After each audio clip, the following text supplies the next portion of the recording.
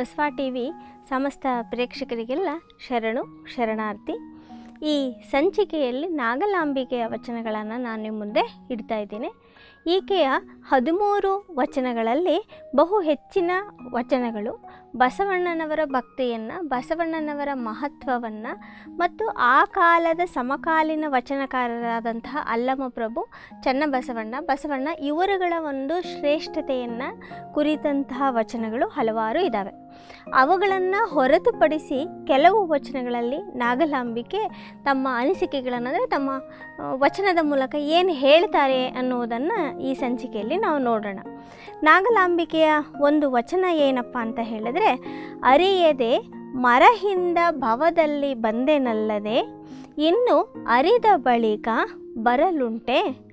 ಅರಿಯದೆ ಮರಹಿಂದ ಭವದಲ್ಲಿ ಬಂದೆನಲ್ಲದೆ, ಇನ್ನು ಅರಿದ ಬಳಿಕ ಬರಲುಂಟೆ. ಹೃದಯ ಕಮಲದಲ್ಲಿ ನಿಜವು ನೆಲೆಗೊಂಡ ಬಳಿಕ ಪುಣ್ಯ ಪಾಪವೆಂಬುದಕ್ಕೆ ಹೊರಗಾದೆನು. ಭುವನದ ಹದಿನಾಲ್ಕರಳು ಪರಿಪೂರ್ಣ ನಿರಂಜನ ಜ್ಯೋತಿಯಾಗಿ ಬೆಳಗುವ ಪ್ರಭುವ ಕಂಡು ಬದುಕೆದನು ಕಾಣ ಬಸವಣ್ಣ ಪ್ರಿಯ ಚನ್ನಸಂಗಯ್ಯ. ಬಸವಣ್ಣ ಪ್ರಿಯ ಚನ್ನಸಂಗಯ್ಯ ಅನ್ನೋದು ಈಕೆಯ ವಚನಗಳ ಅಂಕಿತ. ಈಕೆ ಈ ವಚನದಲ್ಲಿ ಹೇಳುವ ವಿಚಾರ ಏನಪ್ಪ ಅಂತ ಹೇಳಿದ್ರೆ, ಅರಿಯದೆ ಮರಹಿಂದ ಈ ಭವದಲ್ಲಿ ಬಂದೆನಲ್ಲದೆ. ಅರಿಯದೆ ನನಗೆ ತಿಳಿಯದೆ ನಾನು ಈ ಭವದಲ್ಲಿ, ಈ ಲೋಕದಲ್ಲಿ, ಈ ಬದುಕಿನಲ್ಲಿ, ಈ ಪ್ರಪಂಚದಲ್ಲಿ ನಾನು ಹುಟ್ಟಿದೆ. ಇನ್ನು ಅರಿತ ಮೇಲೆ ನಾನು ಇಲ್ಲಿ ಉಳಿಯುವುದುಂಟೆ. ಇದ್ರ ಬಗ್ಗೆ ಇನ್ನು ಅರಿದ ಬಳಿಕ ಬರಲುಂಟೆ. ಮತ್ತಿನ್ನು ಈ ಪ್ರಪಂಚದ ಬಗ್ಗೆ, ಈ ಲೌಕಿಕದ ಬಗ್ಗೆ, ಈ ಲೌಕಿಕ ಬದುಕಿನ ಅನಿಶ್ಚಿತತೆಯ ಬಗ್ಗೆ ಇವುಗಳನ್ನೆಲ್ಲ ಅರಿತ ಮೇಲೆ, ಪರಮಾತ್ಮನನ್ನು ಅರಿತ ಮೇಲೆ ಮತ್ತೆ ನಾನು ಈ ಭವದಲ್ಲಿ ಬರಲುಂಟೆ. ಈ ಭವ, ಈ ಜನ್ಮ, ಈ ಹುಟ್ಟಕ್ಕೆ ಮುಂಚೆ ನನಗೆ ಗೊತ್ತಿಲ್ಲ. ಒಂದು ಅಜ್ಞಾನದಿಂದ ನಾನು ಹುಟ್ಟಿದ್ದೇನೆ. ಈ ಅಜ್ಞಾನದಿಂದ ಹುಟ್ಟಿದ ನಾನು, ಈಗ ನಾನು ಅರಿತಿದ್ದೇನೆ. ಪರಮಾತ್ಮನ ಅರಿವನ್ನು ಅರಿತಿದ್ದೇನೆ, ನನ್ನನ್ನು ಅರಿತಿದ್ದೇನೆ, ಪ್ರಪಂಚವನ್ನು ಅರಿತಿದ್ದೇನೆ. ಈ ಎಲ್ಲ ಅನಿಶ್ಚಿತತೆ, ಅನಿತ್ಯತೆಯ ಬಗ್ಗೆ ಅರಿತ ಮೇಲೆ ನಾನು ಮತ್ತೆ ಬರಲುಂಟೆ? ಈ ಥರದೊಂದು ಪ್ರಶ್ನೆಯನ್ನು ಇಲ್ಲಿ ನಾಗಲಾಂಬಿಕೆ ಹಾಕ್ತಾರೆ. ಅಂದರೆ ಇಲ್ಲಿ ಒಂದು ಒಂದು ನಮಗೊಂದು ಪ್ರಶ್ನೆ ಬಿಡು. ಬರುತ್ತೇನಪ್ಪ ಅಂತ ಹೇಳಿದ್ರೆ, ಬರಲುಂಟೆ ಅನ್ನೋದು ಎಲ್ಲಿಂದ ಬಂತು? ಈಗಾಗಲೇ ಬಂದು ಆಗಿಬಿಟ್ಟಿದೆ. ಈಗಾಗಲೇ ಹುಟ್ಟಿದ್ದೀವಿ ನಾವು ಈ ಭೂಮಿ ಮೇಲೆ. ಈ ಜಗತ್ತಲ್ಲಿ ಹುಟ್ಟಿದ್ದೀವಿ ಇನ್ನು ಮತ್ತೆ ಬರಲುಂಟೆ ಅಂದರೆ ಮತ್ತೆ ಮುಂದಿನ ಜನ್ಮಕ್ಕೆ ಬರಬೇಕು ಅಂತ ಹೇಳ್ತಾ ಇದ್ದಾರೆ? ಜನ್ಮಾಂತರಗಳ ಬಗ್ಗೆ ನಾಗಲಾಂಬಿಕೆ ಹೇಳ್ತಾ ಇದ್ದಾರೆ? ಮುಂದಿನ ಜನ್ಮದಲ್ಲಿ ನಾನು ಹುಟ್ಟಲ್ಲಪ್ಪ. ಈ ಜನ್ಮಕ್ಕೆ ಕೊನೆ ಸಾಕು ಅಂತ ಹೇಳ್ತಾ ಇದ್ದಾರೆ? ಅಥವಾ ಏನು ಈ ಭಾವದಲ್ಲಿ ನಾನು ಬರಲುಂಟೆ ಅಂದರೆ ಮತ್ತು ನಾನು ಇಲ್ಲಿ ಹೆಂಗೆ ಏನಿದ್ರ ಅರ್ಥ ಅನ್ನುವಂಥ ಒಂದು ಮಾತು ಬರುತ್ತೆ. ಒಂದು ಪ್ರಶ್ನೆ ನಮಗೆ ಬರುವಂಥದ್ದು. ಇಲ್ಲಿ ಏನಪ್ಪ ಅಂತ ಹೇಳಿದ್ರೆ ನಾನು ಬಹಳ ಹಿಂದೆ ಈ ವಚನಗಳನ್ನು, ನಾವು ಬೇರೆ ವಚನಗಳನ್ನು ಓದುವಾಗ ನಾವು ಈ ಲೌಕಿಕ ಬದುಕನ್ನು, ಈ ಲೌಕಿಕ ಜೀವನವನ್ನು ವಿರೋಧಿಸಿದವರಲ್ಲ ಅಥವಾ ಅದನ್ನು ತಿರಸ್ಕರಿಸಿದವರಲ್ಲ ನಮ್ಮ ವಚನಕಾರರು. ಈ ದೇಹವನ್ನು ಪ್ರಸಾದಕಾಯ ಅಂತ ಕರೆದ ವಚನಕಾರರು, ಈ ದೇಹದ ಮೂಲಕ ಈ ಪಂಚೇಂದ್ರಿಯ ಯಾವನ್ನ ನಾವು ಸಾಧನೆಗೆ ಅಡ್ಡಿ ಅಂತ ಹೇಳಿ ಕರಿತೀವಲ್ಲ ಪಂಚೇಂದ್ರಿಯಗಳು, ಈ ಪಂಚೇಂದ್ರಿಯಗಳನ್ನೇ ಸಾಧನವಾಗಿಸಿಕೊಂಡು ನಾವು ಅರಿವಿನ ಮಹತ್ವವನ್ನು ಏರುವ ಪ್ರಯತ್ನವನ್ನು ಮಾಡಬೇಕು ಅನ್ನೋದನ್ನು ನಮ್ಮ ಶರಣರು ಹೇಳ್ತಾರೆ. ಅಂದರೆ ನಮ್ಮ ಲೌಕಿಕ ಬದುಕನ್ನಾಗಲಿ, ನಮ್ಮ ಈ ಲೌಕಿಕ ದೇಹವನ್ನಾಗಲಿ, ಅಂದರೆ ನಾವು ಹುಟ್ಟಿರುವ ರೀತಿಯನ್ನಾಗಲಿ ಇದನ್ನು ನಮ್ಮ ಹುಟ್ಟನ್ನು ಯಾವತ್ತೂ ವಿರೋಧಿಸಿದವರಲ್ಲ ನಮ್ಮ ಶರಣರು. ಹಾಗಾಗಿ ಇಲ್ಲಿ ನಾಗಲಾಂಬಿಕೆ ಹೇಳ್ತಾ ಇರೋದು ಏನಪ್ಪ ಅಂತ ಹೇಳಿದ್ರೆ, ಅರಿಯದೇ ನಾನು ಭವದಲ್ಲಿ ಬಂದೆ. ನನಗೆ ತಿಳಿಯದೇ ನಾನು ಬಂದೆ. ಈಗ ನಾನು ತಿಳ್ಕೊಂಡ್ಮೇಲೆ ಮತ್ತೆ ಬರಲುಂಟೆ ಅಂತ ಹೇಳುವಾಗ, ಮತ್ತೆ ಬರಲುಂಟೆ, ಮತ್ತೆ ನಾನು ಹುಟ್ಟುತ್ತೇನೆ ಅನ್ನುವ ಪ್ರಶ್ನೆ ಆ- ಅರ್ಥದಲ್ಲಿ ನಾವು ತಗೊಳ್ಳದೆ, ಇಲ್ಲಿ ಈಕೆ ಹೇಳ್ತಾ ಇರೋದ್ರೆ ಮತ್ತೆ ಭವಕ್ಕೆ ನಾನು ಸಿಲುಕಿಕೊಳ್ಳುವುದಿಲ್ಲ. ಈ ಭವ ನನಗೆ ಸಿಕ್ಕಿ ಈ ಹುಟ್ಟು ನನಗೆ ಸಿಕ್ಕಿದೆ. ಈ ಸಿಕ್ಕಿರುವ ಈ ಹುಟ್ಟಿನ ಮೂಲಕ ಸಾಧನೆಯ ಹಂತವನ್ನು ಏರಿ ಮನಸ್ಸಿನ ಏಕಾಗ್ರತೆಯನ್ನು ಸಾಧಿಸಿ ಅಥವಾ ಪರಮಾತ್ಮನನ್ನು ಸೇರುವ ಒಂದು ಪ್ರಯತ್ನವನ್ನು ಮಾಡ್ತೇನೆ. ಒಂದು ಪರಮಾತ್ಮನನ್ನು ಸೇರುವ ಅಂದರೆ ಸನ್ಮಾರ್ಗದಲ್ಲಿ ನಡೆಯುವ ಪ್ರಯತ್ನ ಮಾಡ್ತೇನೆ ಹೊರತು ಬರೀ ಈ ಲೌಕಿಕ ಬಂಧನದಲ್ಲಿ ಸಿಕ್ಕಾಕೊಂಡು ಮತ್ತೆ ನಾನು ಈ ಭವದಲ್ಲಿ ಅಂದರೆ ಈ ನನ್ನದು ಅನ್ನುವ ಒಂದು ಅಂದರೆ ನನ್ನ ಸ್ವಾರ್ಥದ ಒಂದು ತೊಳಲಾಟದಲ್ಲಿ ನಾನು ತೊಡಕೊಳ್ಳೋದಿಲ್ಲ ಅನ್ನುವರೆದು ಭವಕ್ಕೆ ಮತ್ತೆ ಬರೋಣ ಮತ್ತೆ ಲೌಕಿಕದಲ್ಲಿ ನಾನು ಅಂದರೆ ಮತ್ತೆ ಲೌಕಿಕ ಈ ವ್ಯವಹಾರಗಳಲ್ಲಿ ನಾನು ಸಿಕ್ಕಾಕೊಳ್ಳೋದಿಲ್ಲ ಮತ್ತು ಸಿಕ್ಕಾಕೊಳ್ತೀನ ಹೇಗೋ ಮರಹಿಂದ ಏನೋ ಅಜ್ಞಾನದಿಂದ ಏನೋ ಹೇಗೋ ನನಗೆ ಗೊತ್ತಿಲ್ಲದೆ ಹುಟ್ಟಿದ್ದೀನಿ ನಿಜ. ಆದರೆ ಹುಟ್ಟಿದ ಮೇಲೆ ಮತ್ತೆ ಈ ಲೌಕಿಕ ಗೊಂದಲಗಳಲ್ಲಿ ಸಿಕ್ಕಾಕೊಂಡು ನಾನು ಇರೋದಿಲ್ಲ. ಬದಲಾಗಿ ಅರಿವಿನ ಒಂದು ಮೆಟ್ಟಿಲನ್ನು ಏರ್ತೇನೆ. ಆ ಹೃದಯ ಕಮಲದಲ್ಲಿ ನಾನು ಪರಮಾತ್ಮನನ್ನು ನೆಲೆಗೊಳ್ಳಿಸ್ತೇನೆ ಇದಕ್ಕೆ ಸಿಕ್ಕಾಕೊಂಡು ನಾನು ಒದ್ದಾಡೋದಿಲ್ಲ. ಬದಲಾಗಿ ನನ್ನ ಹೃದಯ ಕಮಲದಲ್ಲಿ ಪರಮಾತ್ಮನನ್ನು ಕಾಣ್ತೇನೆ. ಅಕ್ಕ ಮಹಾದೇವಿಯ ಒಂದು ವಚನ ನೆನಪಾಗೋದಿಲ್ಲ. ಈ ಸಂದರ್ಭಕ್ಕೆ ಯಾವುದಪ್ಪ ಅಂತ ಹೇಳಿದ್ರೆ, ನನಗಿರುವುದು ಒಂದೇ ಮನ. ಆ ಮನ ಪರಮಾತ್ಮನಲ್ಲಿ ಸಿಲುಕಿದ ಮೇಲೆ ಭವ ಹಿಂಗಿತ್ತು. ಆ ಮನ ಪರಮಾತ್ಮನಲ್ಲಿ ಸಿಕ್ಕಾಕೊಂಡ ಮೇಲೆ ನನಗೆ ಭವ ಹಿಂಗಿತ್ತು, ಭವ ಹೊರಟೋಯ್ತು. ಅಂದರೆ ನನಗೆ ಈ ಹುಟ್ಟಿನ ಗೊಂದಲಗಳು ಇಲ್ಲ. ಮತ್ತು ಮುಕ್ತಿ ಅನ್ನೋದನ್ನು, ಮುಕ್ತಿ ಅಂದರೆ ಈ ಹುಟ್ಟಿನ ಗೊಂದಲಗಳಿಂದ ನಾನು ಪಾರಾಗಿದ್ದೇನೆ ಅನ್ನುವ ಅರ್ಥವನ್ನು ಅಕ್ಕ ಅಕ್ಕ ಮಹಾದೇವಿಯ ಆ ವಚನ ಏನು ಕೊಡುತ್ತಲ್ಲ? ನನಗಿರುವ ಮನಸ್ಸು ಪರಮಾತ್ಮನಲ್ಲಿ ಸಿಲುಕಿಕೊಂಡ ಮೇಲೆ ಈ ಭವದಿಂದ ಮುಕ್ತಳಾಗ್ತೇನೆ ಅಂತ ಹೇಳಿ ಅದೇ ಅರ್ಥವನ್ನು ಇಲ್ಲಿ ನಾಗಲಾಂಬಿಕೆ ಈ ವಚನ ಕೊಡ್ತಾ ಇದೆ. ಹೇಗೋ ಮರಹಿಂದ ನಾನಿಲ್ಲಿ ಹುಟ್ಟಿದೆ. ಆದರೆ ಹುಟ್ಟಿದ ಮೇಲೆ ಮತ್ತೆ ನಾನು ಈ ಭವದಲ್ಲಿ ಸಿಲುಕಿಕೊಳ್ಳುವುದಿಲ್ಲ. ಬದಲಾಗಿ ನನ್ನ ಹೃದಯ ಕಮಲದಲ್ಲಿ ಪರಮಾತ್ಮನನ್ನು ನೆಲೆಗೊಳಿಸ್ತೇನೆ. ಆ ನನ್ನ ಹೃದಯ ಕಮಲದಲ್ಲಿ ಪರಮಾತ್ಮನನ್ನು ಕಾಣ್ತೇನೆ ಅನ್ನುವಂಥ ಮಾತನ್ನು ಇಲ್ಲಿ ನೆಲೆಗೊಂಡ ಬಳಿಕ, ಅಲ್ಲಿ ನೆಲೆಗೊಂಡಾಗ ನೆಲೆಗೊಂಡಾದ ಮೇಲೆ ನೆಲೆಗೊಳಿಸ್ತೇನೆ ಅಲ್ಲಿ ನೆಲೆಗೊಂಡ ಬಳಿಕ ಪುಣ್ಯ ಪಾಪವೆಂಬುದಕ್ಕೆ ಹೊರಗಾದೆನು. ಪಾಪ, ಪುಣ್ಯ ಅನ್ನುವಂಥದ್ದು ಈ ಲೌಕಿಕ ಬದುಕಲ್ಲಿ ಅಂಟುಕೊಂಡಿದ್ದಾಗ, ಈ ಜಗತ್ತಿನೊಡನೆ, ಈ ವ್ಯಾವಹಾರಿಕ ಬದುಕಿನೊಡನೆ ಬದುಕಿದಾಗ, ಅವರೊಡನೆ ನಾವು ವ್ಯವಹರಿಸುವಾಗ ಪಾಪ, ಪುಣ್ಯಗಳ ಅಂಟುವಿಕೆ ನಮ್ಮನ್ನು ಕಾಡುತ್ತೆ. ಅದು ನಮಗೆ ಜನ್ಮಾಂತರಗಳಿಗೆ ಸಾಕ್ತಾ ಹೋಗುತ್ತೆ. ಆದರೆ ಇವುಗಳಿಂದ ಮುಕ್ತವಾಗಿ, ಈ ಲೌಕಿಕ ವ್ಯವಹಾರಗಳಿಂದ ಮುಕ್ತವಾಗಿ ಕೇವಲ ಸನ್ಮಾರ್ಗದಲ್ಲೇ ಸಾಗುವವನಿಗೆ ಪಾಪ ಪುಣ್ಯದ ಚಿಂತೆ ಇರೋಕ್ಕೆ ಸಾಧ್ಯ ಇಲ್ಲ. ಯಾಕಂದರೆ ಪಾಪ ಪುಣ್ಯದ ಚಿಂತೆ ಬರೋದು ಯಾವಾಗ? ಪಾಪ ಪುಣ್ಯದ ಅಂಟುವಿಕೆ ಪ್ರಶ್ನೆ ಬರೋದು ಯಾವಾಗ ಅಂತ ಹೇಳಿದಾಗ ನೀನು ನಾನು ತಪ್ಪು ಮಾಡ್ತೇನಾ? ನಾನು ಸರಿ ಮಾಡ್ತೇನಾ? ಅನ್ನುವ ಗೊಂದಲ ಬಂದಾಗ, ಆ ಥರದ ಒಂದು ಗೊಂದಲ ನಮಗೆ ಉಂಟಾದಾಗ, ಅಥವಾ ನಾನು ಇದು ಮಾಡ್ತಾ ಇರೋದು ಕೆಟ್ಟ ಕೆಲಸ ಅಂತ ನನಗೆ ಗೊತ್ತಾದಾಗ, ಈ ನಮಗೆ ಅಥವಾ ಇದು ನಾನು ಮಾಡ್ತಾ ಇರೋದು ಒಳ್ಳೆ ಕೆಲಸ ಅಂತ ಅಂದ್ಕೊಂಡಾಗ ಪಾಪ ಪುಣ್ಯಗಳ ಪರಿಕಲ್ಪನೆ ನಮಗೆ ಬರುತ್ತೆ. ಆದರೆ ನಾನು ಮಾಡುವುದು ಒಳ್ಳೆಯ ಕೆಲಸವೇ ಅಂತ ಹೇಳಿದ ಮೇಲೆ ಮತ್ತೆ ಪಾಪ ಪುಣ್ಯಗಳ ಯೋಚನೆ ಎಲ್ಲಿಂದ ಬರುತ್ತೆ? ಸದಾಚಾರದಲ್ಲಿ ನಡೆಯುವವನಿಗೆ ಯಾವಾಗ ನಾನು ಮಾಡೋದು ಒಳ್ಳೆಯದನ್ನು ಮಾತ್ರ ನಾನು ಮಾಡ್ತೇನೆ ಅಂತ ಹೊರಡುವವನಿಗೆ ಇನ್ನು ಪಾಪದ ಭೀತಿ ಇಲ್ಲ. ಇನ್ನು ಈ ಪಾಪದ ಭೀತಿ ಇಲ್ಲ ಅಂದರೆ ಅದರ ಯೋಚನೆಯೂ ಕೂಡ ಬರೋಕ್ಕೆ ಸಾಧ್ಯ ಇಲ್ಲ. ಹಾಗಾಗಿ ಪಾಪ ಪುಣ್ಯಗಳಿಂದ ಹೊರ ನನ್ನ ಮನಸ್ಸಲ್ಲಿ ನಾನು ಸದಾ ಸತ್ ಆಲೋಚನೆಗಳನ್ನೇ ಮಾಡ್ತಾ ಸದ್ಭಾವವನ್ನೇ ಹೊಂದಿ, ಆ ಪರಮಾತ್ಮನನ್ನೇ ನೆಲೆಗೊಳಿಸಿಕೊಂಡ ಮೇಲೆ ಮತ್ತೆ ನನಗೆ ಪಾಪ ಪುಣ್ಯಗಳ ಅಂಟುವಿಕೆ ಹೇಗೆ, ಅವುಗಳ ಚಿಂತೆ ಹೇಗೆ, ಅವುಗಳ ಚಿಂತನೆ ನನಗೆ ಯಾಕೆ ಅನ್ನುವಂಥ ಮಾತನ್ನು ಇಲ್ಲಿ ಈಕೆ ಹೇಳ್ತಾರೆ ಹೀಗೆ ಭುವನದ ಹದಿನಾಲ್ಕರಳು ಪರಿಪೂರ್ಣ ನಿರಂಜನ ಜ್ಯೋತಿಯಾಗಿ ಬೆಳಗುವ ಪ್ರಭುವ ಕಂಡು ಬದುಕಿದೆನು ಕಾಣ. ಬಸವಣ್ಣ, ಪ್ರಿಯ ಅಲ್ಲಮ್ಮ ಪ್ರಭುವನ್ನು ಕಂಡು ನಿರಂಜನ ಜ್ಯೋತಿಯಾಗಿ ಬೆಳಗುವ ಆ ಪ್ರಭುದೇವರ ಕರುಣೆಯನ್ನು ಕಂಡು ನಾನು ಬದುಕಿದೆ. ಅವರಿಂದ ನಾನು ಹೃದಯ ಕಮಲದಲ್ಲಿ ಪರಮಾತ್ಮನನ್ನು ನೆಲೆಗೊಳಿಸುವುದನ್ನು ಕಂಡುಕೊಂಡೆ ಅನ್ನೋದನ್ನು ನಾಗಲಾಂಬಿಕೆ ಈ ವಚನದಲ್ಲಿ ಹೇಳ್ತಾರೆ. ಈ ವಚನ ಮತ್ತೊಮ್ಮೆ ಹೇಳ್ತೇನೆ. ಅರಿಯದೆ ಮರಹಿಂದ ಭವದಲ್ಲಿ ಬಂದೆನಲ್ಲದೆ, ಇನ್ನು ಬಂದ ಬಳಿಕ ಬರಲುಂಟೆ ಅರಿದ ಬಳಿಕ ಬರಲುಂಟೆ.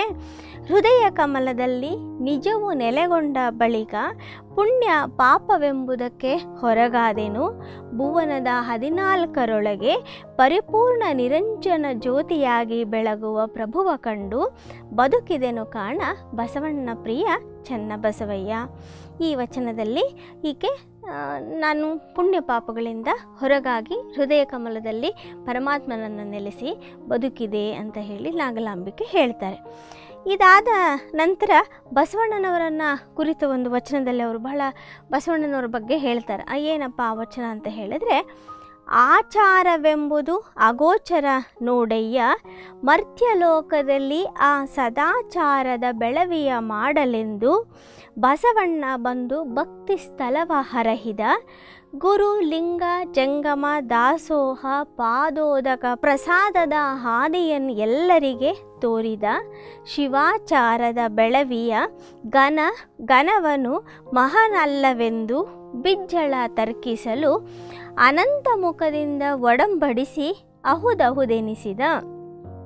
ಬಂದ ಮಣಿಹ ಪೂರೈಸಿತೆಂದು ಲಿಂಗದೊಳಗೆ ಬಗೆದು ಹೊಕ್ಕಡೆ ಹಿಂದೆ ಲೋಕವರಿದು ಬದುಕಬೇಕೆಂದು ಸೆರಗ ಕೊಟ್ಟ ನಾನು ಹಿಂದುಳಿದಹಳೆಂದು ಮುಂದಣ ಗತಿಯ ತೋರಿ ಬಸವಣ್ಣ ಪ್ರಿಯ ಚನ್ನ ಸಂಗಯ್ಯನಲ್ಲಿ ತನ್ನ ಪ್ರಸನ್ನದೊಳಗೆ ಇಂಬಿಟ್ಟುಕೊಂಡನು ಎನ್ನ ಹೆತ್ತ ತಂದೆ ಸಂಗನ ಬಸವಣ್ಣನು. ಇದು ಬಸವಣ್ಣನವರ ಮಾರ್ಗವನ್ನು, ಬಸವಣ್ಣನವರು ಸು, ಯಾವ ಒಂದು ಮಾರ್ಗವನ್ನು ವಚನಕಾರರಿಗೆ ಅಥವಾ ಅವತ್ತು ಎಲ್ಲರಿಗೂ ಒಂದು ಮಾರ್ಗವನ್ನು ತೋರಿಸಿದ್ರ ಪರಿಣಾಮ ಅಂದರೆ ಅದರ ಮಹತ್ವವನ್ನು ಕುರಿತು ಇಲ್ಲಿ ನಾಗಲಾಂಬಿಕೆ ಹೇಳ್ತಾ ಇರುವಂಥದ್ದನ್ನು ನೋಡ್ತೇವೆ. ಸಂದರ್ಭದಲ್ಲಿ ಅಡಿಗರ ಒಂದು ವಚನ ನೆನಪಾಗುತ್ತೆ. ಏನಪ್ಪ ಅಂದರೆ ಆಕಾಶದಿಂದ ಅನಾಮತ್ತಾಗಿ ಇಲ್ಲಿ ಬಿದ್ದವರು ಈ ಕಾಶಕ್ಕೆ ಸಿಲುಕಿದರು ಕೊಳ್ಳಿ ದೆವ್ವಗಳಂತೆ ಮಿಂಚಿ ಮರೆಯಾದರು ಬುದ್ಧ, ಬಸವ, ರಾಮಕೃಷ್ಣ, ಗಾಂಧಿ ಇತ್ಯಾದಿ ಇವರೆಲ್ಲ ಚಪ್ಪಾಳೆ ಅಲೆಗೆ ಸಿಕ್ಕು, ಬಿರುಗಾಳಿಗೆ ಹಾಗೆ ಹಾರಿ ಹೋದರು ಪುಸ್ತಕಗಳಲ್ಲಿ ಮೂರ್ತರಾಗಿ ಉಳಿದರು. ಅಮೂರ್ತರಾಗಿಯೂ ಪುಸ್ತಕಗಳಲ್ಲಿ ಮೂರ್ತರಾಗಿ ಉಳಿದರು ಅನ್ನುವಂಥ ಅಡಿಗರ ಒಂದು ಪದ್ಯ ನನಗೆ ನೆನಪಾಗುತ್ತೆ ಈ ಸಂದರ್ಭದಲ್ಲಿ. ಬುದ್ಧ, ಬಸವ, ಗಾಂಧಿ, ರಾಮಕೃಷ್ಣ, ವಿವೇಕಾನಂದ ಇಂಥವರೆಲ್ಲ ಹಲವಾರು ಜನ ಬಂದರು. ಬಂದರು, ಬಂದವರೇ ಏನಾಯಿತು? ಎಷ್ಟು ದಿನ ಈ ಕಾಶಕ್ಕೆ ಸಿಲುಕಿದ್ರು? ಇಲ್ಲಿನ ಕಷ್ಟಕ್ಕೆ ಸಿಲುಕಿದ್ರು? ಇಲ್ಲಿ ಕಷ್ಟವನ್ನು ನೋಡಿದ್ರು? ಬದುಕಿನ ಈ ಗೊಂದಲಗಳನ್ನು ನೋಡಿದ್ರು? ಆ ಗೊಂದಲಗಳಿಂದ ಜನರನ್ನು ಪಾರು ಮಾಡಬೇಕು ಅಂತ ಪ್ರಯತ್ನ ಪಟ್ಟರು ಎಷ್ಟು ದಿನ ಕೊಳ್ಳಿ ದೆವ್ವಗಳಂತೆ ಮಿಂಚಿ ಮರೆಯಾದರು. ಸ್ವಲ್ಪ ದಿನ ಅವರಿದ್ದಷ್ಟು ಹೊತ್ತು ಮುಚ್ಚಿದ್ದಂತೆ ಇತ್ತು. ಕೆಂಡ ಬೂದಿ ಮುಚ್ಚಿದಂತೆ ಇತ್ತೆ ಹೊರತು. ಆ ಕೆಂಡವೇನು ಆರಿರಲಿಲ್ಲ. ಮುಚ್ಚಿದಂತೆ ಇದ್- ಇರುವಂಥ, ಅಶ, ಅವರಿದ್ದಷ್ಟು ದಿನ ಮುಚ್ಚಿದಂತೆ ಇತ್ತು. ಮತ್ತೆ ಅವರ ನಂತರ ಮತ್ತದೇ ಯಥ ಪ್ರಕಾರ. ಅದನ್ನೇ ಎಲ್ ಹನುಮಂತಯ್ಯನವರು ಒಂದು ಕವಚ ಪದ್ಯದಲ್ಲಿ ಹೇಳ್ತಾರೆ. ಏನಂದ್ರೆ ಬುದ್ಧ ಬೆಸೆದನು ಬಿಸಿಯಲ್ಲೇ ತುಕ್ಕು ಹಿಡಿದಿತ್ತು ಅಂತ ಹೇಳಿ. ಬುದ್ಧ ಬೆಸೆದನು ಬಿಸಿಯಲ್ಲೇ ತುಕ್ಕು ಹಿಡಿದಿತ್ತು ಅನ್ನುವಂಥ ಒಂದು ಮಾತನ್ನು ಕೂಡ ಹನುಮಂತಯ್ಯನವರು ಹೇಳ್ತಾರೆ. ಬಸವಣ್ಣನವರು ಎಲ್ಲ ಬಗೆಯ ಸಮಾನತೆಯನ್ನು ತರಬೇಕು ಅನ್ನುವ ಕಾರಣಕ್ಕಾಗಿ ಜನರನ್ನು ಬೆಸೆಯುವ ಪ್ರಯತ್ನ ಮಾಡಿದ್ರು, ಒಟ್ಟುಗೂಡಿಸುವ ಪ್ರಯತ್ನ ಮಾಡಿದ್ರು. ಆದರೆ ಎಷ್ಟು ದಿನ ಬಸವಣ್ಣನ ಬದುಕಿದ್ದಾಗಲೇ ಅಲ್ಲೇ ಅವರು ಬೆಸೆದಿದ್ದ ಆ ಬೆಸೆಗೆ ತುಕ್ಕು ಹಿಡಿಯೋಕೆ ಆರಂಭ ಆಗೋಯಿತು. ಇದು ನಮಗೆ ಗೊತ್ತು, ವಚನ ಕ್ರಾಂತಿಯ ಸಂದರ್ಭದಲ್ಲಿ ಏನೇನೆಲ್ಲ ಆಯಿತು ಅಂತ ಹೇಳಿ. ಅಂದರೆ ಬುದ್ಧ, ಬಸವ ಅಂತ ಇವರೆಲ್ಲ ಸಮಾಜದ ಸುಧಾರಣೆಯನ್ನು ಮಾಡಬೇಕು ಅಂತ ಹೊರಟರು. ಅಂಬೇಡ್ಕರ್ ಬಂದರು. ಇಂಥವರೆಲ್ಲರ ಪ್ರಯತ್ನ ಏನಾಯ್ತಪ್ಪ? ಎಷ್ಟರ ಮಟ್ಟಿಗೆ ಸುಧಾರಣೆ ಆಯಿತು ಅಂತ ಹೇಳಿದ್ರೆ ಇವತ್ತು ಇಲ್ಲ ಅಂತಲ್ಲ ಅದರ ಪ್ರಯತ್ನ ಸೋತಿಲ್ಲ. ಅದರ ಪ್ರಯತ್ನ ಪರಿಪೂರ್ಣವಾಗಿ ಗೆದ್ದು ಇಲ್ಲ. ಆದರೆ ಅವರೆಲ್ಲರ ಪ್ರಯತ್ನವಾಗಿ ಇಷ್ಟರ ಒಂದು ಹಂತವನ್ನು ನಾವು ತಲುಪಿದ್ದೀವಿ ಅನ್ನೋದೇ ಬಹಳ ಸಂತೋಷದ ಒಂದು ಸಂಗತಿ.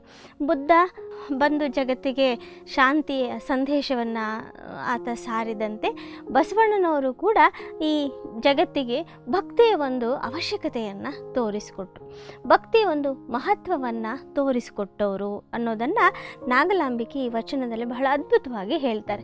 ಏನಪ್ಪ ಆ ವಚನ ಅಂತ ಹೇಳಿದ್ರೆ, ಆಚಾರವೆಂಬುದು ಅಗೋಚರ ನೋಡಯ್ಯ. ಆಚಾರ ಅನ್ನೋದ್ರ ಬಗ್ಗೆ ನಾನು ಕಳೆದ ಅಂದರೆ ಹಲವು ಬಹಳ ಹಿಂದೆ ಆಚಾರ ಅನ್ನೋದನ್ನು ಕುರಿತು ಸಾಕಷ್ಟು ವಿವರವಾಗಿ ಹೇಳಿದೆ. ಆಚಾರ ಅಂದರೆ ಏನು ಅಂತ ಹೇಳಿದರೆ, ಆಚಾರ ಅನ್ನೋದು ಒಂದು ಸನ್ನಡತೆ.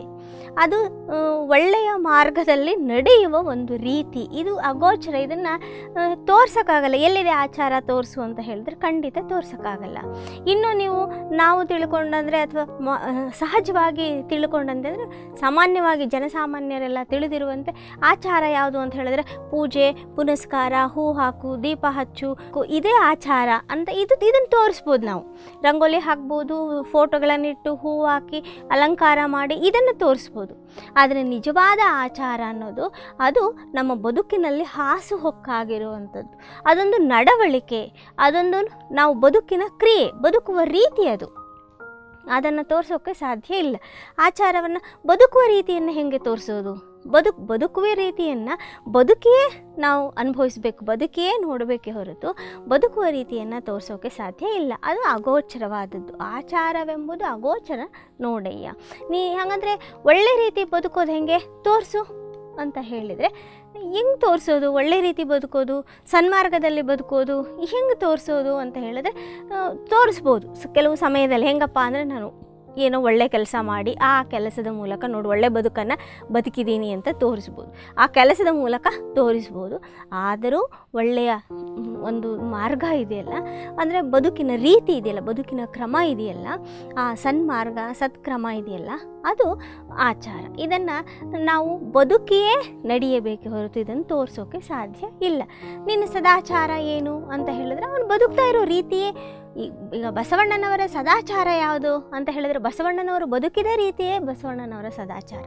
ಗಾಂಧಿಯ ಒಂದು ಸದಾಚಾರ ಯಾವುದು ಅಂದರೆ ಗಾಂಧಿ ಬದುಕಿದ ರೀತಿಯೇ ಗಾಂಧಿ ಒಂದು ಅಂದರೆ ಅವರು ಸಮಾಜಕ್ಕೆ ಕೊಟ್ಟ ಕೊಡುಗೆಯೇ ಒಂದು ಸದಾಚಾರ.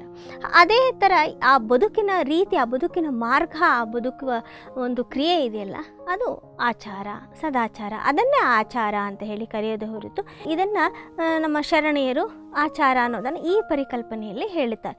ಇದರ ಬಗ್ಗೆ ನಾವು ಬಹಳ ಹಿಂದೆ ಒಂದು ಸಾಕಷ್ಟು ದೊಡ್ಡ ಚರ್ಚೆಯನ್ನು ಮಾಡಿದ್ವಿ. ಹಾಗಾಗಿ ಆಚಾರ ಅನ್ನೋದು ಆ ಗೋಚರ ನೋಡಯ್ಯ. ಮರ್ತ್ಯಲೋಕದಲ್ಲಿ ಈ ಸದಾಚಾರವ ಬೆಳವೆಯ ಮಾಡಲೆಂದು ಮರ್ತ್ಯಲೋಕದಲ್ಲಿ, ಈ ಭೂಲೋಕದಲ್ಲಿ, ಈ ಮನುಷ್ಯರ ಲೋಕದಲ್ಲಿ, ಈ ಸದಾಚಾರದ ಬೆಳೆಯನ್ನು ಬೆಳೀಬೇಕು, ಸನ್ಮಾರ್ಗವನ್ನು ತೋರಿಸಬೇಕು, ಎಲ್ಲರಿಗೂ ಒಳ್ಳೆಯ ಬದುಕಿನ ರೀತಿಯನ್ನು ಕಲಿಸಬೇಕು ಅನ್ನೋದನ್ನು ಬಯಸಿದವರು ನಮ್ಮ ಬಸವಣ್ಣ. ಅದಕ್ಕಾಗಿಯೇ ಹೋರಾಟವನ್ನು ಮಾಡಿದವರು ಬಸವಣ್ಣ. ಅದಕ್ಕಾಗಿಯೇ ವಚನ ಕ್ರಾಂತಿಯನ್ನು ಕಟ್ಟಿದವರು ಬಸವಣ್ಣ. ಅದನ್ನು ಹೇಳ್ತಾರೆ, ಸದಾಚಾರದ ಬೆಳೆಯನ್ನು ಬೆಳಿಬೇಕು, ಎಲ್ಲರಿಗೂ ಅದನ್ನು ಮಾಡಬೇಕು, ಎಲ್ಲರಲ್ಲೂ ಸದಾಚಾರವನ್ನು ತುಂಬಬೇಕು, ಎಲ್ಲರೂ ಸದಾಚಾರಿಗಳಾಗಬೇಕು ಅಂತ ಮಾಡಲೆಂದು ಹೊರಟವರು ಬಸವಣ್ಣ. ಬಂದು ಭಕ್ತಿ ಸ್ಥಳವ ಹರಹಿದ, ಅದಕ್ಕೋಸ್ಕರ ಭಕ್ತಿ ಸ್ಥಳವನ್ನು ಹರಹಿದ. ಭಕ್ತಿ ಸ್ಥಳ ದೇವರ ಮೇಲಿನ ಭಕ್ತಿ ಆ ಪರಮಾತ್ಮನ ಮೇಲಿನ ಭಕ್ತಿ. ನನಗೆ ಎಷ್ಟೋ ಸಾರಿ ಅನಿಸುತ್ತೆ ಭಕ್ತಿ ಅಂದರೆ ಏಕಾಗ್ರತೆ ತನ್ಮಯತೆ ಈ ಭಕ್ತಿ ಬಗ್ಗೆ ಕೂಡ ಬಹಳ ದೊಡ್ಡ ದೀರ್ಘ ಚರ್ಚೆಯನ್ನು ನಾವು ಹಿಂದೆ ಮಾಡಿದ್ದೀವಿ ಭಕ್ತಿ ಅನ್ನೋದು ಯಾವುದರಲ್ಲಿ ನಾವು ತಲ್ಲೀನತೆಯನ್ನು ನಮ್ಮ ಒಳಗನ್ನು ಆ, ಕಾಣೋಕೆ ಸಾಧ್ಯ ಆಗುತ್ತೆ ನಮ್ಮ ಒಳಗೆ ಅದನ್ನು ನೆಲೆಗೊಳಿಸ್ಕೊಳ್ಳೋಕೆ ಸಾಧ್ಯ ಆಗುತ್ತೆ ಅದನ್ನು ಭಕ್ತಿ ಅಂತ ಹೇಳಿ ಕರಿತೀವಿ. ಆ ಮಾರ್ಗವನ್ನು ನೆಲೆಗೊಳಿಸಿಕೊಳ್ಳುವ ಮಾರ್ಗವನ್ನು ಭಕ್ತಿ ಅಂತ ಹೇಳಿ ಕರಿತೀವಿ ಅನ್ನೋದನ್ನು ನಾವು ಹೇಳಿದ್ವಿ. ಆ ಭಕ್ತಿ ಅನ್ನೋದು ಪರಮಾತ್ಮನಲ್ಲಿ ಬೇಕಾದರೂ ಇರ್ಬೋದು, ನಮ್ಮ ಕಾಯಕದಲ್ಲಿ ಬೇಕಾದರೂ, ಕಾಯಕದ ಮೂಲಕವೇ ಪರಮಾತ್ಮನನ್ನು ಕಾಣ್ಬೋದು. ನಮ್ಮ ಒಂದು ಸಾಧನೆ ಯಾವುದೇ ಒಂದು ಒಳ್ಳೆಯ ಸಾಧನೆ, ಒಳ್ಳೆಯ ಒಂದು ಕೆಲಸದಲ್ಲಿ ನಿರತ ಏಕಾಗ್ರತೆಯನ್ನು ಸಾಧಿಸೋದಿದೆಯಲ್ಲ, ಅದು ಪರಮಾತ್ಮನನ್ನು ಸೇರುವ ಭಕ್ತಿಯೇ ಆಗಿರುತ್ತೆ. ಹಾಗಾಗಿ ಭಕ್ತಿ ಸ್ಥಳವನ್ನು ಹರಹಿದೆ ಅಂತ ಹೇಳುವಾಗ, ಮತ್ತೆ ಪರಮಾತ್ಮನ ಮೇಲಿನ ಭಕ್ತಿಯನ್ನೇ ಯಾಕೆ ಹೇಳಿದ್ರು? ಪರಮಾತ್ಮನ ಮೇಲಿನ ಭಕ್ತಿಯನ್ನೇ ಬಸವಣ್ಣನವರು ಹೇಳಲಿಲ್ಲ. ನಮಗೆ ಬಹಳ ಸ್ಪಷ್ಟವಾಗಿದೆ ವಚನಕಾರರು ಕಾಯಕವೇ ಕೈಲಾಸ ಅಂದವರು ಕಾಯಕದ ಮೂಲಕವೇ ಪರಮಾತ್ಮನನ್ನು ಸೇರಬೇಕು ಅಂತ ಹೇಳಿ ಹೇಳಿದವರು. ಕಾಯಕದ ಮೂಲಕವೇ ನಾವು ಭಕ್ತಿಯನ್ನು ಸಾಧಿಸಬೇಕು. ಅಂದರೆ ಕಾಯಕವೇ ಭಕ್ತಿ ಸ್ಥಳದ ಮಾರ್ಗ ಅಂತ ತೋರಿಸ್ಕೊಟ್ಟವ್ರು. ಭಕ್ತಿಯನ್ನು ಸಾಧಿಸೋಕೆ, ಆ ಭಕ್ತಿಯ ಸ್ತರವನ್ನು ಮುಟ್ಟೋಕೆ ಅದಕ್ಕೆ ಬೇರೆ ವಿಶೇಷವಾದ ಮಾರ್ಗವನ್ನೇನೂ ನಾವು ಅನುಸರಿಸಬೇಕಾಗಿಲ್ಲ. ನಮ್ಮ ಕಾಯಕ ನಿಷ್ಠೆಯೇ ಅದಕ್ಕೆ ಸಾಧನ ಅಂತ ಹೇಳಿ ಹೇಳಿದವರು. ಇಂತಹ ಕಾಯಕ ನಿಷ್ಠೆಯನ್ನು ಭಕ್ತಿ ಪರಮಾತ್ಮನ ಕಾಯಕ ನಿಷ್ಠೆಯಲ್ಲೇ ಪರಮಾತ್ಮನನ್ನು ನೆಲೆಗೊಳಿಸಿ ಜನರಿಗೆ ತೋರಿಸಿದವರು, ಭಕ್ತಿ ಸ್ಥಳವನ್ನು ಹರಹಿದವರು ನಮ್ಮ ಬಸವಣ್ಣ. ಎಷ್ಟು ಅದ್ಭುತ. ನಮ್ಮ ನಮ್ಮ ಕೆಲಸಗಳಲ್ಲಿಯೇ ಪರಮಾತ್ಮನನ್ನು ತೋರಿಸಿ ಆ ಮೂಲಕವೇ ಪರಮಾತ್ಮನನ್ನು ಸೇರುವ ಭಕ್ತಿ ಸ್ಥಳವನ್ನು ಹೇಳಿಕೊಟ್ಟವರು ನಮ್ಮ ಬಸವಣ್ಣ. ಎಷ್ಟು ಅದ್ಭುತವಾದ ಒಂದು ವಿಚಾರ ಇದು. ಪ್ರತಿಯೊಬ್ಬರು ಅವರವರ ಕೆಲಸವನ್ನು ಅವರ ನಿಷ್ಠೆಯಿಂದ, ಒಳ್ಳೆಯ ಮಾರ್ಗದಿಂದ ಅವರು ನಿರ್ವಹಿಸಿದ್ದೇ ಆಗಿಬಿಟ್ರೆ ಬಹುಶಃ ಜಗತ್ತು ಬಹಳ ಉತ್ತಮ ಸ್ಥಿತಿಯನ್ನು ತಲುಪಿಬಿಡುತ್ತೆ ಅಂತ ನಾವು ಅಂದ್ಕೊಳ್ಬೋದಲ್ಲ ಇಲ್ಲಿ ಮತ್ತೆ ಮರ್ತ್ಯಲೋಕದಲ್ಲಿ ಆ ಸದಾಚಾರದ ಬೆಳವೆಯ ಮಾಡಲೆಂದು ಬಸವಣ್ಣ ಬಂದು ಭಕ್ತಿ ಸ್ಥಳವ ಹರಹಿದ, ಭಕ್ತಿ ಸ್ಥಳವನ್ನು ಹಂಚಿದ, ಹರಹಿದ. ಗುರುಲಿಂಗ, ಜಂಗಮ, ದಾಸೋಹ, ಪಾದೋದಕ ಪ್ರಸಾದವ ಹಾದೆಯನ್ನು ಎಲ್ಲರಿಗೂ ತೋರಿದ. ಗುರು ಲಿಂಗ ಜಂಗಮ ಪ್ರಸಾದ ಪಾದೋದಕಗಳ ಹಾದಿಯನ್ನು ಮಾರ್ಗವನ್ನು ತೋರಿಸಿಕೊಟ್ಟ. ಅದುವರೆಗೂ ಏನಾಗಿತ್ತು? ಅದುವರೆಗೂ ಏನಾಗಿತ್ತು ಅಂತ ಹೇಳಿದರೆ ದೇವರು ಅನ್ನೋದು ಒಂದು ಅಮೂರ್ತ ಕಲ್ಪನೆ ಆಗಿದ್ದು ದೇವರು ಅನ್ನೋದು ಒಂದು ಭಕ್ತಿ ಅನ್ನೋದಕ್ಕಿಂತ ಹೆಚ್ಚಾಗಿ ಒಂದು ಭಯವನ್ನು ಹುಟ್ಟಿಸುವ ಒಂದು ಮಾರ್ಗ ಆಗಿತ್ತು. ಒಂದು ವಸ್ತು, ದೇವರು ಅಂದರೆ ಅದೇನೋ ಅಲ್ಲೆಲ್ಲೋ ಇದ್ದಾನೆ ದೇವರು, ಅವನು ಹಂಗೆ ಹಂಗೆ ಮಾಡಿಬಿಡ್ತಾನೆ, ಹಿಂಗೆ ಈ ಥರದೊಂದು ಭಯ ಹುಟ್ಟಾಕುವ ಒಂದು ಪರಿಕಲ್ಪನೆ ಆಗಿತ್ತು. ವಚನಕಾರರ ವಚನ ಕ್ರಾಂತಿ ನಡೆಯುವವರಿಗೆ ದೇವರು ಭಯ ಹುಟ್ಟಾಕುವ ಒಂದು ಪರಿಕಲ್ಪನೆ, ದೇವರು ಅನ್ನೋದೊಂದು ಪರಿಕಲ್ಪನೆ. ಆಗಿತ್ತು. ದೇವರನ್ನು ಯಾರೂ ಸೇರೋಕೆ ಸಾಧ್ಯ ಇಲ್ಲ. ದೇವರನ್ನು ಎಲ್ಲರೂ ನೋಡೋಕೆ ಸಾಧ್ಯ ಇಲ್ಲ. ದೇವರನ್ನು ಎಲ್ಲರಿಗೂ ಕಾಣೋಕೆ ಸಾಧ್ಯ ಇಲ್ಲ. ದೇವರ ಹತ್ರ ಹೋಗೋದು ಸುಲಭದ ಮಾತಲ್ಲ. ದೇವರಿಗೂ ಕೆಲವರಿಗೆ ಮಾತ್ರ ಒಲಿಯುವಂಥವನು. ದೇವರನ್ನು ಮೆಚ್ಚಿಸಬೇಕಾದ್ರೆ ನೀನು ಇಂತಿಂಥದ್ದು ಹೀಗೆಲ್ಲ ಮಾಡಬೇಕು. ಈ ರೀತಿ ಕೆಲವರ ಲಾಭಕ್ಕಾಗಿ ದೇವರು ಅನ್ನುವ ಪರಿಕಲ್ಪನೆ ಒಂದು ಉಪ್, ಉಪಕರಣದ ರೀತಿಯಲ್ಲಿ ಬಳಕೆ ಆಗ್ತಾ ಇತ್ತು.